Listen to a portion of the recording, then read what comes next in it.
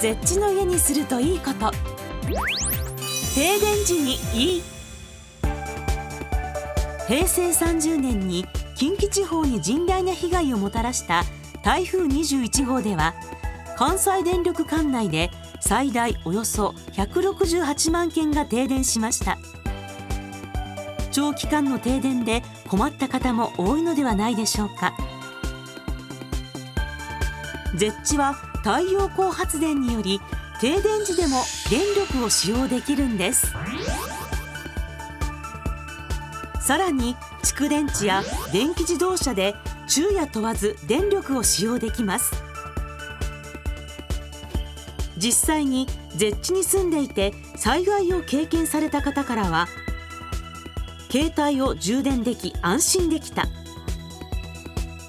お昼だけでも冷蔵庫を使用できたなど電気を使えたという声もあります。では実際に模擬停電で電力を使えるのか見てみましょう。停電になりました。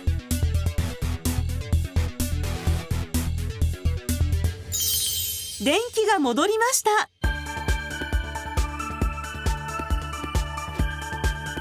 このように太陽光からの発電や電気自動車からの給電で電気が使えるようになりました。これは災害時にも安心ですね。ゼッチは停電時にいい。